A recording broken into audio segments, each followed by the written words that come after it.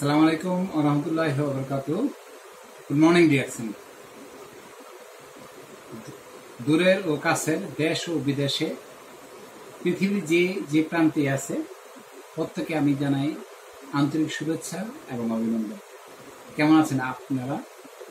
আজ আমার ইউটিউবের হেলথ ওয়েলথ অ্যান্ড হ্যাপিনেসের প্রথম দিন ইউটিউবে।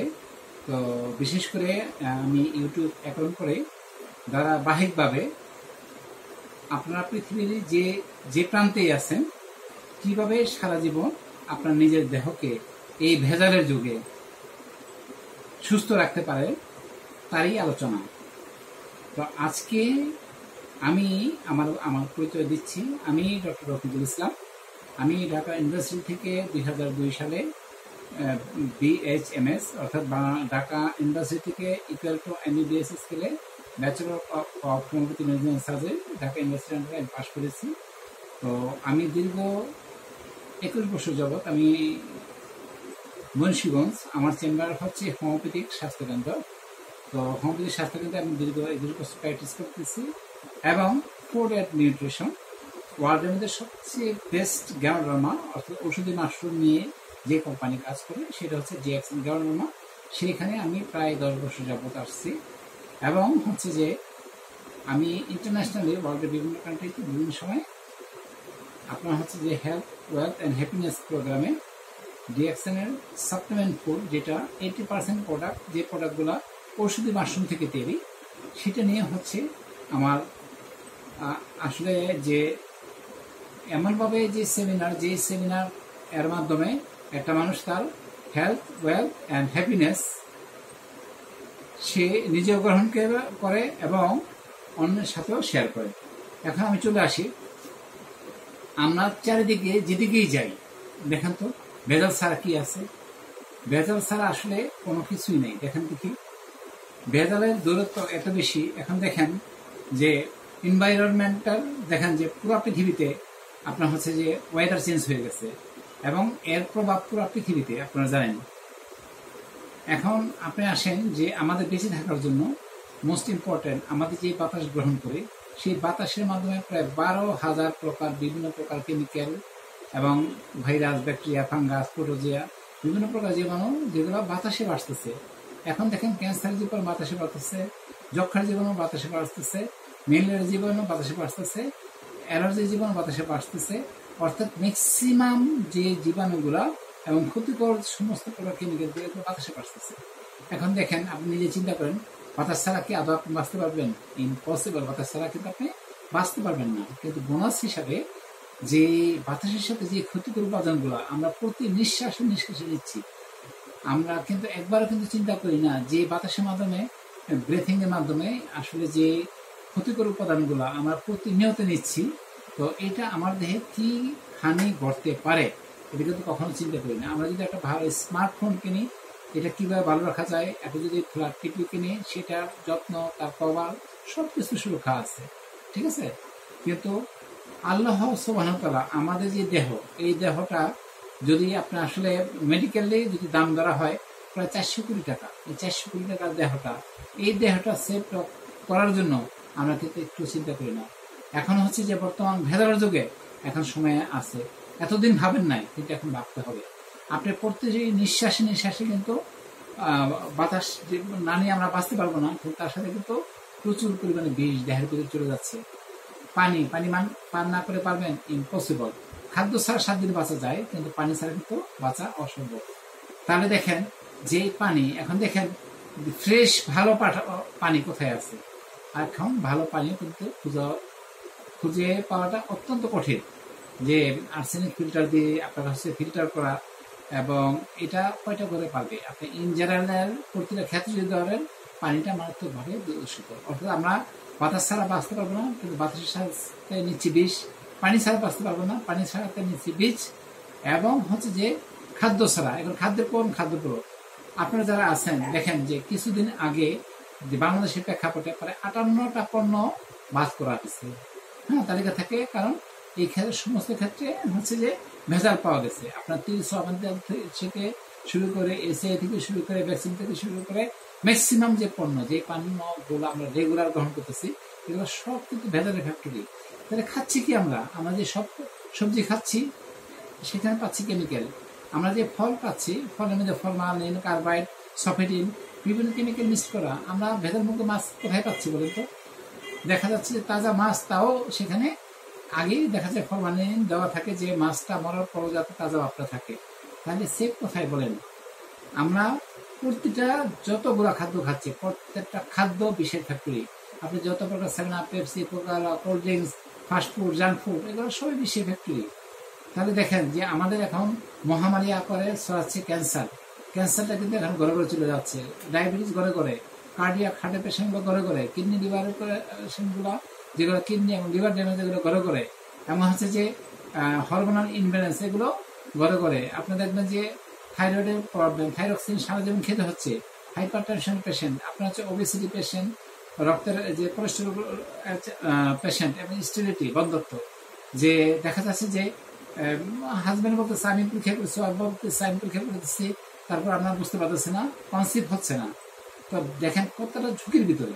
কিন্তু আমরা কিন্তু দেখেন প্রতিনিয়ত যে বিষ খাদ্যের মাধ্যমে, পানির মাধ্যমে, বাতাসের মাধ্যমে যে বিষ প্রতিনিয়ত আমরা নিচ্ছি, আমরা কি একবার ভাবি যে আসলে আমাদের এটা ফিল্টার হওয়া দরকার? একবার কিন্তু ভাবি না। এরপর চলে আসেন যে আপনাকে সুস্থ থাকার জন্য পর্যাপ্ত ঘুম দরকার।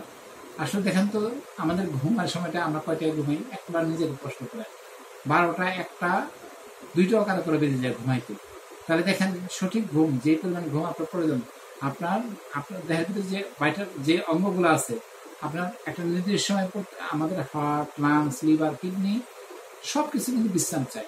চোখ বলে আমি আর তাকায় থাকতে পারব না, ব্রেন বলতে আমি আর চিন্তা করতে পারব না, লিভার বলতেছে আমি খাবার স্টোর করতে পারব না পানিস বলতেছে আমি আর হজমের কাজ করতে পারব না। ঠিক আছে? পা বলতেছে আমি আর চলতে পারব না, ওকে? চোখ বলতেছে আমি আর তাকায় থাকতে পারব না। তাহলে দেহের প্রত্যেকটা অঙ্গ কি যাচ্ছে বিশ্রাম দিচ্ছে। তো সাইন্টিফিকলি এটা প্রমাণ করা হয়েছে যে আসলে যে আমাদের যে শরীরে বিশ্রামের যে উপযুক্ত সময়, রাত দশটা তিরিশ মিনিট থেকে রাত দুটো তিরিশ মিনিট পর্যন্ত। এই সময়টা আমাদের অঙ্গ করার সবচেয়ে বেশি বিশ্রাম চাই কিন্তু আমরা কি দিচ্ছি বিশ্রাম? না। তাহলে যেরকম আমরা খাদ্য খাওয়ার মাধ্যমে, বাতাস পানির মাধ্যমে বিষ নিচ্ছি সেকেন্ড না ঘুমানোর কারণে দেহের যে অঙ্গ, সেই অঙ্গগুলা কি হয়ে যাচ্ছে? যে জেগে জেগে আপনার ভিতরে একটা ডিপ্রেশন তৈরি হচ্ছে। মোস্ট ইম্পর্টেন্ট আপনি স্ট্রেসে ভুগতেছেন। এরপর আপনি চলে আসেন, তার পাশাপাশি কায়িক পরিশ্রম আর এক্সারসাইজ দেখেন, সকালে ঘুম থেকে উঠে আপনি জগিং করা বা এক্সারসাইজ করা প্রত্যেকটা সুস্থ মানুষের প্রয়োজন। এখন দেখেন তো আমাদের ভিতরে কয়জন করতে পারতেছি? করতেছি? না। আমরা দেখা যাচ্ছে যে খাওয়া দাওয়া করতেছে খাওয়া দাওয়া খেয়ে দিয়ে কি করি? জাস্ট একটা ঘুম দিই বা বিশ্রাম নেই এবং বসে থাকি, কোনো মুভমেন্ট করি না। আপনি দেখেন ফরেন যারা আছে তারা অনেকেই দেখা যাচ্ছে যে তারা হয়তো কোনো জায়গায় ট্যুরে যদি যায়, দেখে যে তারা খাওয়া দাওয়ার পর এক ঘণ্টা, দেড় ঘণ্টার মধ্যে হেঁটে আসে। অর্থাৎ তারা যে খেয়ে আসলো, যে যা খেলো, পরিমাণ যদি বেশিও খায়, তাহলে হেঁটে যে খাম বের করে সেটা ব্যালেন্স করে ফেলে। আমরা কি তা করতে পারতেছি? মোটেও না।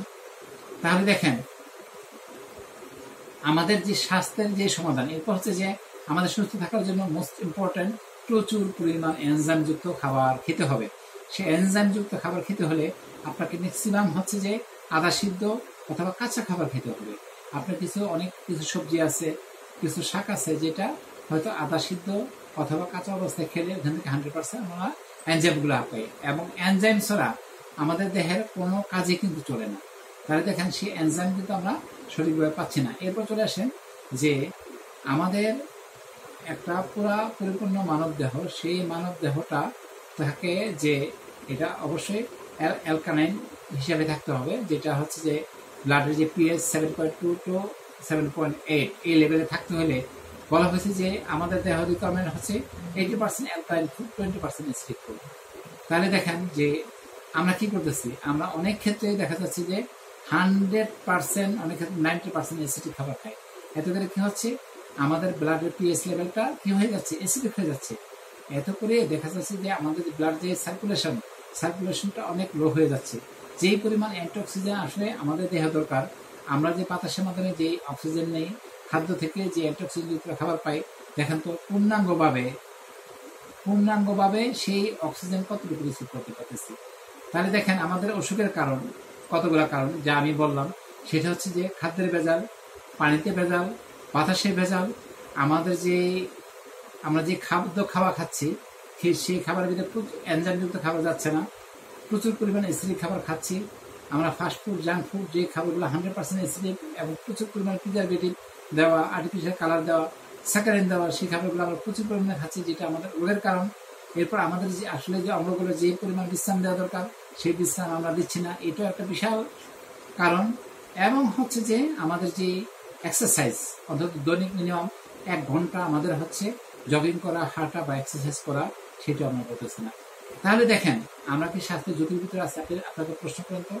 আমরা ভাবি যে রোগের সংজ্ঞা বা রোগ হচ্ছে একটা মানুষ যে পর্যন্ত ক্লিনিকে না যায়, একটা মানুষ যে পর্যন্ত হাসপাতালে না যায়, তিনি হচ্ছে স্বাস্থ্যবান।